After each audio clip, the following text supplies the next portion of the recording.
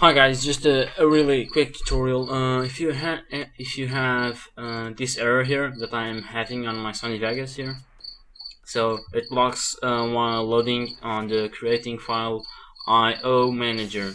So this is really easy to fix. Just go to your uh, task manager and then find where is it? It's gone. It's possible. Oh, it's here. So it's it's the same thing. File I slash O blah blah blah. So it's what is here, and you terminate file. Here you go, and then you terminate the um, the Vegas process. Uh, it will have uh, two processes, I think. Wait, let me check. Yes, exactly. So you have to uh, close two processes from Vegas, and then oh, actually you don't need to because Vegas actually uh, recovers so great, it's even better than I expected. So uh, yeah, guys, that's it. Uh, if you have this error, you know how to fix it. Peace.